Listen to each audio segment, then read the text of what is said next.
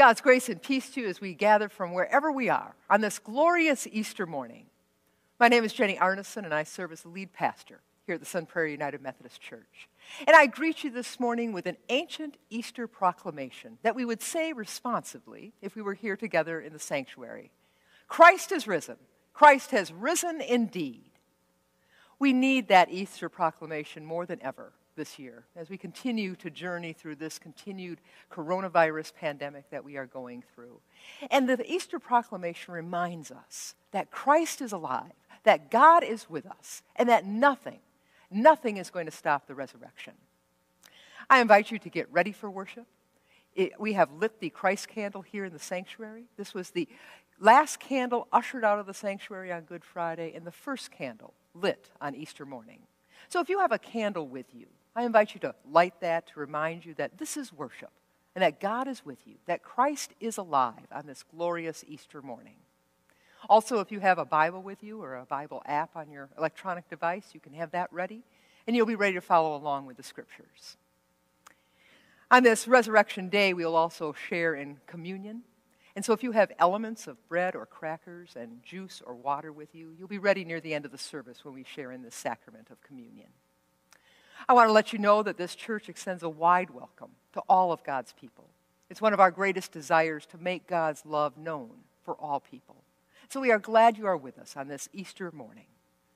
We also invite you to record your attendance. There is an attendance button where you clicked into worship on our church website, and you can record your attendance there to let us know you are with us.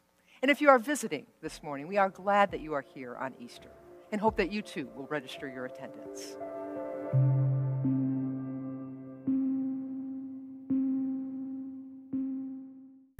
Now, as we begin our Easter worship, we pour water into our baptismal font. And as the water is poured out, we are reminded that the covenant of baptism names us and claims us as God's very own. Symbolically, at baptism, we die to our old selves and we rise to new life with Christ. And that is a powerful symbol to think about on this resurrection day. May we remember our baptism and be thankful. And now, on this Easter morning, in the name and spirit of Jesus, the risen Christ, we gather from wherever we are to celebrate with joy and praise on Easter. Let us worship together.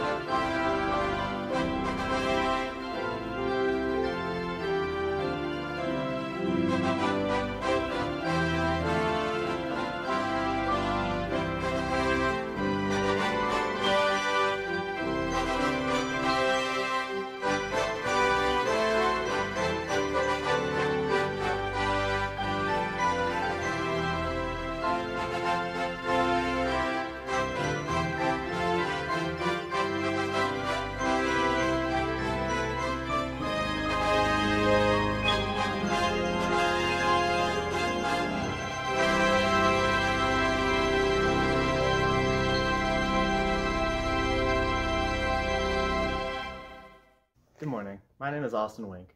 And I'm Lisa Wink. Hear these words of invitation to worship. Christ is risen, risen indeed. Hallelujah! Let us sing to God our new song of joy and new life. For we have been set on a new path and brought into renewed relationship with God and one another.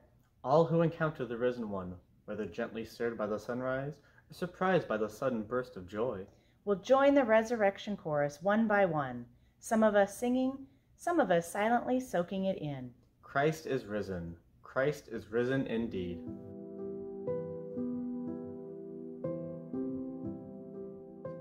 Our first scripture reading comes from the book of Acts, verses 34 to 43. If you have your Bible with you, please follow along. The words will also be on the screen. Peter said, I really am learning that God doesn't show partiality to one group of people over another. Rather, in every nation, whoever worships God and does what is right and acceptable to God. This is the message of peace God has sent to the Israelites by proclaiming the good news through Jesus Christ. He is Lord of all. You know what happened throughout Judea, beginning in Galilee after the baptism John preached. You know about Jesus of Nazareth, whom God anointed with the Holy Spirit and endowed with power Jesus traveled around doing good and healing everyone oppressed by the devil because God was with him. We are witnesses of everything he did, both in Judea and in Jerusalem. They killed him by hanging him on a tree, but God raised him up on the third day and allowed him to be seen, not by everyone, but by us. We are witnesses from whom God chose beforehand, who ate and drank with him after God raised him from the dead.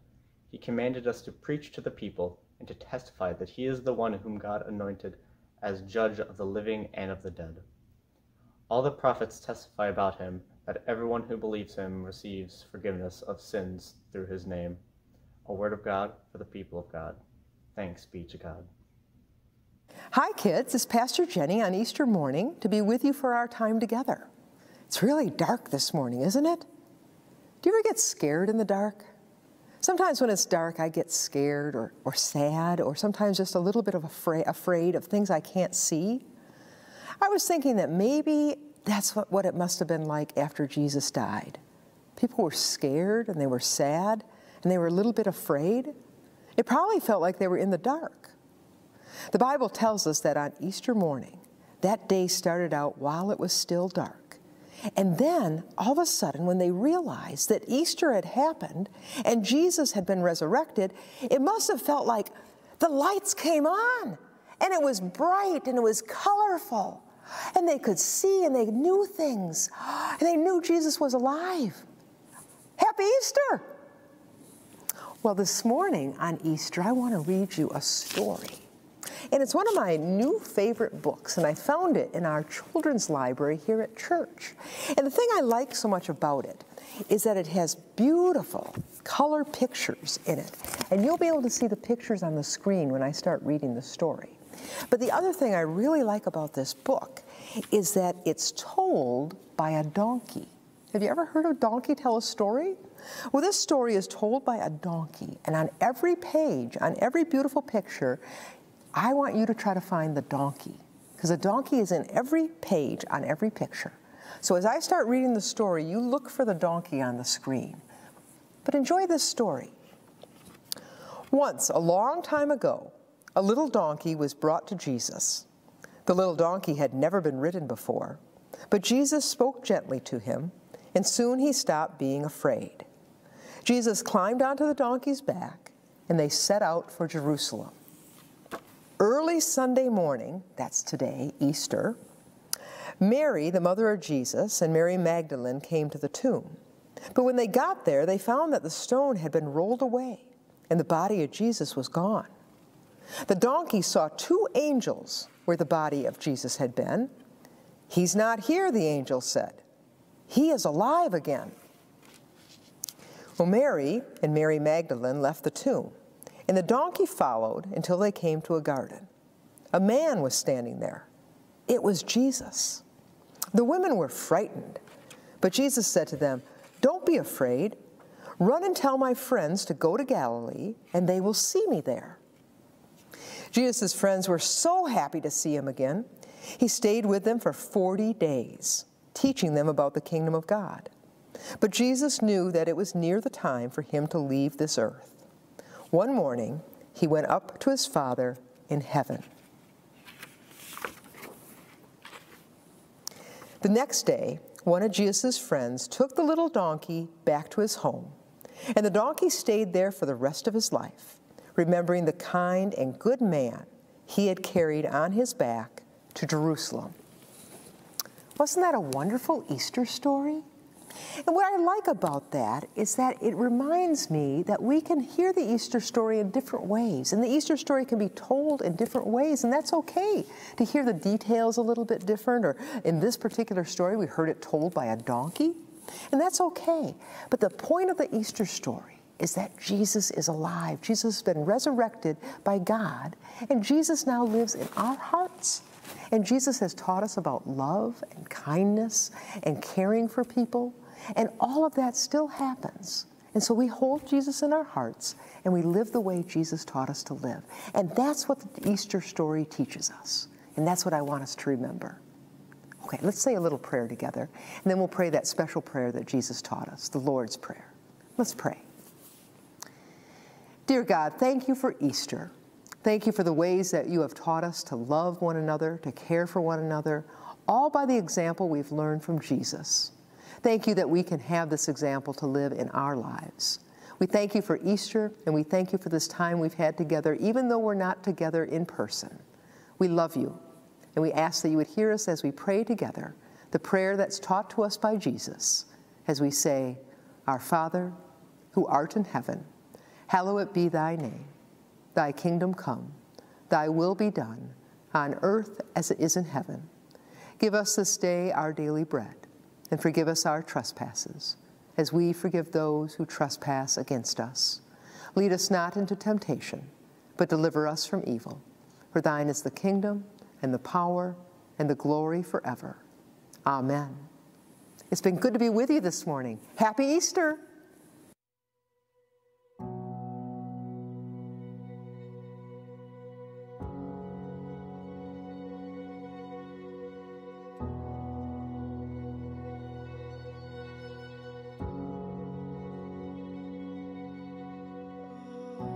So much has changed since last Easter. The world has been shaken, life has been disrupted. What we once called normal seems like it may never return. It's been easy to be discouraged, to lose hope, to feel the foundations of our faith begin to crumble. It's hard to keep our feet planted when the ground beneath feels like shifting sand. Now more than ever, we need to stand on the truth of Easter. A day which changed our eternity, changed our world forever. Death was defeated by life. Sin was consumed by mercy. The grave was swallowed up by victory. See, even in the darkest of moments, the love of Jesus could not be stopped. His faithfulness could not be broken.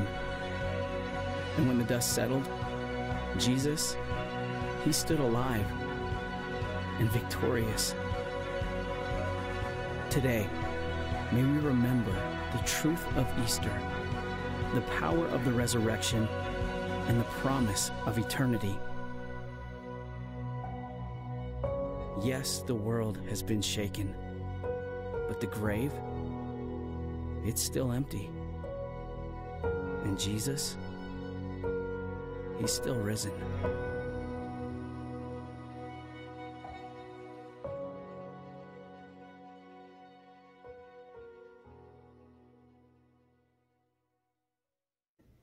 John 20, verses 1 through 18.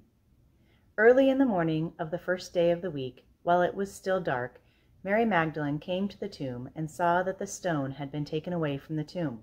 She ran to Simon Peter and the other disciple, the one whom Jesus loved, and said, They have taken the Lord from the tomb, and we don't know where they have put him.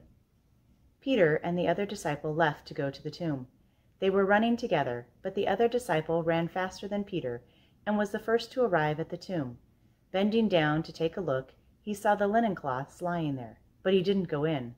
Following him, Simon Peter entered the tomb and saw the linen cloths lying there. He also saw the face cloth that had been on Jesus' head. It wasn't with the other clothes, but was folded up in its own place. Then the other disciple, the one who arrived at the tomb first, also went inside. He saw and believed. They didn't yet understand the scripture that Jesus must rise from the dead. Then the disciples returned to the place where they were staying. Mary stood outside near the tomb crying. As she cried, she bent down to look into the tomb. She saw two angels dressed in white, seated where the body of Jesus had been, one at the head and one at the foot. The angels asked her, Woman, why are you crying? She replied, They have taken away my Lord, and I don't know where they've put him. As soon as she had said this, she turned around and saw Jesus standing there, but she didn't know it was Jesus. Jesus said to her, Woman, why are you crying? Who are you looking for? Thinking he was the gardener, she replied, Sir, if you have carried him away, tell me where you have put him, and I will get him. Jesus said to her, Mary. She turned and said to him in Aramaic, Rabboni, which means teacher. Jesus said to her, Don't hold on to me, for I haven't yet gone up to my Father. Go to my brothers and sisters and tell them, I'm going up to my God and your God. Mary Magdalene left and announced to the disciples, I have seen the Lord. Then she told them what he said to her. A word of God for the people of God. Thanks be to God. Let us pray. Gracious God, on this resurrection day, we pray that as we hear the proclaiming of your love from the story of Easter, we will be able to relate to the new life you have given us through Jesus, the risen Christ. May we receive what is needed to hold us steady in your presence and to carry your hope and your joy and your compassion and your love out with us into a waiting and needy world, knowing that you go with us as our rock, our strength, and our Redeemer. Amen. When I come across a statement or a quote that I like, I usually clip it out or I write it down so I can use it later. Either read it again later or maybe use it in a sermon or a devotion. And a statement that I jotted down from the Christian Century magazine back in 2006 was written in an article by John Buchanan, who was the editor of the magazine at the time. And the statement said, The challenge is we live in a Good Friday world. The challenge is we live in a Good Friday world. That's a statement that stands true in the world in which we live now, in the world of generations past, and in the world of the future not yet experienced. The challenge is we live in a Good Friday world. A Good Friday world holds betrayal, injustice, struggle, suffering, death, grief, and a lot of darkness. We don't need to look beyond the daily news to confirm the truth of this statement. Every day we are subject to heart wrenching news heart wrenching news that tells us that there's more darkness, that there's darkness in this world. And the darkness sometimes can feel overwhelming. Certainly, the last 13 months of this ongoing coronavirus pandemic has been dominated by fear and anxiety, disruption and disease, economic uncertainty, and loss. Still, and this is the great Easter transition word. This is a great Easter transition word. Still. Still. We are Easter people. We are Easter people. We are people who are challenged by living in a Good Friday world, but we build our lives. We build our lives on the hope of the resurrection. Still, we are Easter people. When darkness comes in all its forms, we hurt, we grieve, we struggle, we get weary, but still, still we trust in new life. We trust that new life is stirred up in this place. And that's why we need Easter every year. Whether we gather to celebrate in our traditional and beloved ways or not. And one of the Easter questions that has surfaced over the last 13 months really is a question that is no different from a question that could be asked every Easter. What kind of new life can come out of darkness? What kind of new life can come out of darkness? Long before the onset of this pandemic, author Barbara Brown Taylor wrote a book about darkness. And I know many of you have read it. It's titled Learning to Walk in the Dark. I've picked up her book again several times over the last year. And I read little bits and piece of it, pieces of it, and I discover that what she talks about in the darkness still holds true today. It holds true in the life in which we are challenged with now. She writes that darkness is shorthand for anything that scares me, that I don't want any part of, either because I'm not sure that I have the resources to survive it, or because I do not want to find out. She continues by writing, Instead, I have learned things in the dark that I could never have learned in the light. Things that have saved my life over and over again. So that there really is only one logical conclusion I need darkness as much as I need light. New life starts in the dark. And that's where we find ourselves in the Easter story today, as recorded in the Gospel of John. Easter happens or begins, the writer of John's Gospel says, while it is still dark. While it is still dark, Mary Magdalene went to the tomb of Jesus. For her, the deep darkness of grief came with the death of Jesus. As she made her way to the tomb, she was going to the place where her hopes had ceased, her dreams had died, and her worst fears had been realized. She comes to the tomb early that morning expecting to see a corpse, a dead body, which she is going to anoint for burial in the tomb. She comes to the tomb that early morning carrying the sadness, the grief, and the shattered dreams of so many, even the followers of Jesus, even the disciples of Jesus who abandoned him and deserted him after his arrest. Mary and the others had actually begun to believe Jesus when he said that love is stronger than hate, that forgiveness is stronger than revenge. They had begun to trust Jesus when he said that the greatest good is love for God and love for neighbor. And the way to new life is to love each other, to show love for one another. They had begun to believe him, they had begun to trust him.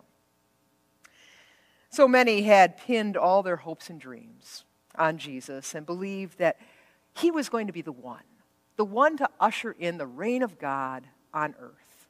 That he was the one who was going to bring in God's kingdom. And now he was dead. And their hopes and their dreams were shattered. They were gone. And the world felt like this blanket of darkness. The pandemic has felt like a blanket of darkness. COVID 19 has been, in many ways, a revealing of what was already there, a revealing of the lingering darkness that was the biases which we hold within ourselves, the inequities and the injustices of our world, of racism that's been embedded in our laws and systems, of the damage caused by political wrangling and gridlock, and of the unacceptable ways that we care for the most vulnerable among us when it comes to food insecurity or homelessness or physical or mental health care. In these pandemic days and even in non pandemic days, many can relate to what it means to have your hopes and dreams shattered, to feel like there's a blanket of darkness over your life.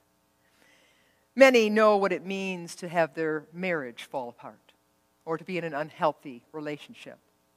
Many know what it means to be caught in the grip of depression that causes you to feel so low that the anxiety of life is something that feels like it's spiraling out of control, and simply daily tasks feel monumental. Many know what it means to lose a job or need to find a new job during these pandemic months. Many know what it means to have your child struggle to function in new educational settings. Many know what it means to wait for the medical report and then to be told that you have an illness or that a loved one is ill. Many know what it means to sit at the bedside of a dying loved one, or because of pandemic protocols to not be able to be with a loved one who is dying. Many know what it means to grieve, and at moments when you least expect it, to have that grief grab you all over again. And so we hear the Easter story again this year, and we realize that even though this story is told differently from gospel to gospel, it really is the same story. It's the same story. The story never changes, but the circumstances of our life change. And that's all part of Easter. That's when Easter happens. That's when Easter comes alive in the different circumstances of our lives. Easter makes no deep or meaningful sense apart from the reality of our lives. And in many ways, our reality always includes darkness. Yet it is because of this early morning darkness on which Easter begins that we are given choices. We're given choices. It's a choice to believe that love is stronger than death. It's a choice to believe that darkness will not overcome us. It's about choosing to believe the vows of our baptism that say we reject the evil powers of this world and accept the freedom and power God gives us to resist evil, injustice, and oppression and fear in whatever forms they come at us. It's about choosing to believe that death does not have the last word and that darkness darkness will always give way to light because of Jesus because of Jesus the risen Christ the light of the world who has overcome sin, and death. Even as COVID 19 has cast this shadow of darkness on so much in our lives and has caused so many losses, we still need to see and we still need to create signs of life, signs of light and new life. Perhaps one of the gifts of this pandemic is realizing where we can truly see Easter alive all around us. Easter is alive when we realize how much we have in common, how much we really can relate to, and how much we can do good together, even when we're separated from one another or even from a social distance. Easter is alive every time we send a card, make a phone call, send an email or a text, or do a video chat just to stay in touch with loved ones. Easter is alive when the gifts of creativity have allowed us to share worship and ministries in new ways online, even sometimes while home in our pajamas. Easter is alive with our children and our youth as they check in for Sunday school or engage in vacation Bible school or share their highs and lows of the week in youth group. Easter is alive when relationships with mentors are formed and confirmation happens, even from a distance. Easter is alive when generosity and creativity feed people and fill the shelves of our local food pantries. Easter is alive every time we help a neighbor.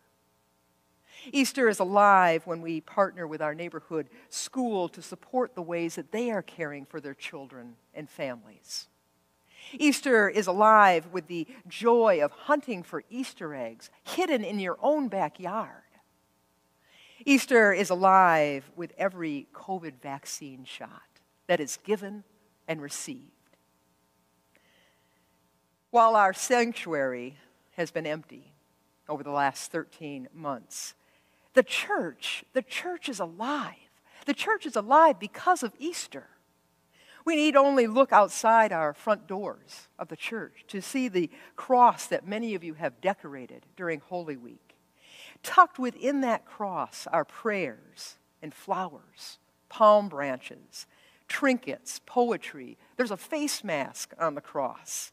All sorts of things that represent not only the challenge and the darkness, but represent Easter, that Easter is alive. I'm thinking we may keep that cross up during the 50 great days of the Easter season until we celebrate the birth of the church on Pentecost. Because of Easter, we can relate to new life following darkness. My prayer for our post pandemic world is that we work together, that we work together to shape a new way of living and being based on the gospel, based on the new life that Easter offers, based on the reality that we are Easter people who know that even in the challenge of living in a Good Friday world, God is with us. God is with us. We are Easter people, and there is nothing, nothing we can do to stop the resurrection. May it be so for each of us. Thanks be to God. Hallelujah. Amen.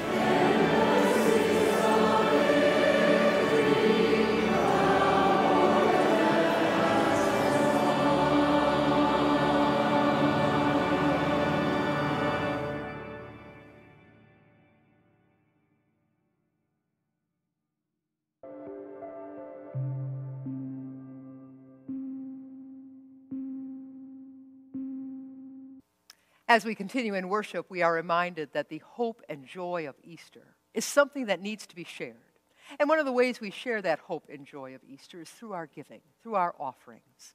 I invite you to make your offering in several different ways. You can either go to our church website where you clicked into worship and there is an offertory button there, and you can make your donation that way, and it gives you several online giving options. Or you can mail your offering to the church, or if you're coming past the church, you can put it in our mailbox. And I want to thank you for the ongoing support of faithfulness that you have given us, especially over the last 13 months of this pandemic, to keep our ministry going, to make our ministry relevant as we reach out beyond ourselves and into our communities. Thank you. And each week we show you pictures of what our offerings are going to support, what is happening in our ministry. And today we have pictures from last Sunday's Palm Sunday parade. It was great fun as we gathered in the church parking lot and decorated our cars and waved our palm branches. And then we had a parade route that went through our neighborhood. And we even went past the Lutheran church when they were having worship. And they waved their palm branches back at us. So it was a wonderful day. So thank you for the ways that you're offering support, the ways that we can engage in ministry together. And now we do come to the time when we open ourselves to offering communion. So I invite us to prepare our hearts and minds to share in the sacrament of communion.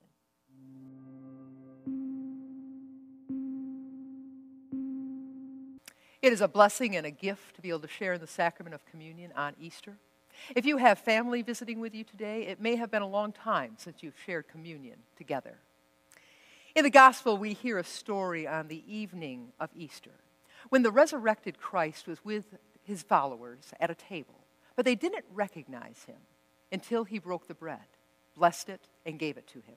And then they recognized him. So we recognize Christ in this communion this day as we share in the bread and the cup. So, with all the company of saints, I invite us to share this communion with the risen Christ as we break the bread and drink the cup. I invite you to share communion out of your own need, your need to know the grace of God's love and the wideness of God's mercy.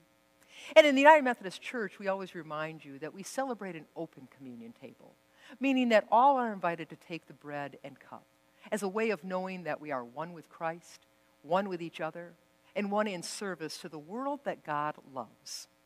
Communion is also called Eucharist, which means thanksgiving. So I invite us to bow our hearts as we join together in prayer, as I offer the prayer of great thanksgiving. Let us pray. God of resurrection glory, this is a day of gladness and joy as we celebrate your gift of love made known in Jesus, the risen Christ.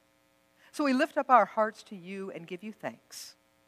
You have brought life out of death and hope out of despair. Grant that we might live in newness of life and that we might ourselves know the power of resurrection. On this glorious day of Easter, we give you thanks for your steadfast love which endures forever. And we rejoice in this day that you have made. We thank you, loving God, that it is through the life, ministry, death, and resurrection of Jesus that we know you to be our Savior. Jesus healed and taught, ate with sinners, and made your love known for all people by water and the Spirit. Let our lives reflect Easter hope in the midst of tragedy, struggle, and suffering. Let our actions be filled with compassion in a world that is so often bruising with indifference. Let our words be truthful when misinformation is all around us. Let our forgiveness build new bridges of reconciliation. And let Easter joy linger in our hearts and fill us with hope and love. On this day, you raised Christ from the dead, and he was recognized by his followers in the breaking of the bread. Since then, your church has continued in the breaking of the bread and the sharing of the cup. By the gift of your Spirit, and in the name of Jesus, all honor and glory is yours, Almighty God, now and forever. Amen. We are told in Scripture that on that night before Jesus gave himself up, he was with his followers, his disciples, at the table. And at some point in the meal, he took bread from the table. He blessed it, he broke it, he gave it to his disciples, and he said, Take and eat. This is my body, the bread of life, given for you. Because there is one loaf. We, as many as we are and as diverse as we are, are one body in Christ. The bread which we break is a sharing in the new life that Christ gives. Scripture also reminds us that when the supper was over, Jesus took the cup. And after giving thanks to God, he shared that with his disciples. And he said, Drink from this, all of you. This is the cup of the new covenant, poured out for you and for many for the forgiveness of sins. Do this as often as you drink it in remembrance of me. The cup of the new covenant, given for you. And I invite you to commune. You may either eat and drink from your bread and cup, or you might want to take a piece of your bread and touch it to the juice and commune in that way. The bread of life and the cup of blessing given for you. Take and eat and drink.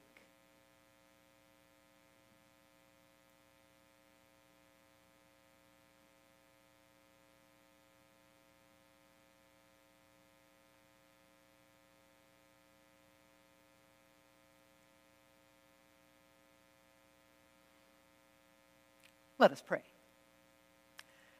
Gracious God, on this resurrection day, you have fed us at this table with this holy mystery. Now grant that we'd go into the world in the strength of your Spirit to give ourselves to others, to give ourselves as living witnesses in the world you love. We pray all of this in the name of the risen Christ. Amen. Thank you for worshiping with us. As a response to our worship, we invite you to put your faith into action, and we have several ways for you and your family to do that. We encourage you to go to our church website at sunprairieumc.org and see what is happening in the life of the Sun Prairie United Methodist Church and see where you might get connected and involved. If you don't already receive our weekly Thursday email that outlines what is happening in the church, or our Monday devotional word of the week, you may contact the church office and we will get you on those email lists. If you are a person graduating from high school or already in college and you are applying for one of our church's scholarships, a reminder that the scholarship application deadline is Wednesday, April 7th. More information about scholarships can be found on our church website. You will want to be in worship with us online next weekend for Holy Humor Weekend. One of the traditions of the Easter season is to celebrate the resurrection of Jesus with smiles and laughter. God raising Jesus from the dead was like a joke played on the world. We celebrate and laugh as God has overcome the power of sin and death. And finally, we will have our monthly food collection to support the Sun Prairie Food Pantry on Saturday, April 10th from 10 to noon in the church parking lot. Now that you have heard the good news of Easter hope and joy and the new life that can follow darkness, go and tell the world of God's great love for all people. Take with you the love of our Creator God the redeeming grace of Christ, and the sustaining strength of the Holy Spirit's presence, which is with us in the midst of all things. And be thankful, people. Christ has risen. Christ has risen indeed. Amen. Christ is risen. Christ is risen indeed. Hallelujah. Christ is risen. Christ is risen indeed. Jesus has risen. Jesus has risen indeed. Christ has risen. Christ has risen indeed. Christ has risen. He has risen indeed. Christ has risen. Christ has risen indeed. Christ has risen. Christ has risen indeed. Christ has risen. Christ has risen indeed. He is risen. He is risen indeed. Christ is risen. Christ is risen indeed. Christ is risen. Christ is risen indeed. Happy Easter, everyone. God bless us all. Christ is risen. Christ has risen indeed. Christ is risen. Christ is risen indeed. Indeed, Christ is risen today. Hallelujah. 주님께서 부활하셨습니다. Have, a blessed. Easter.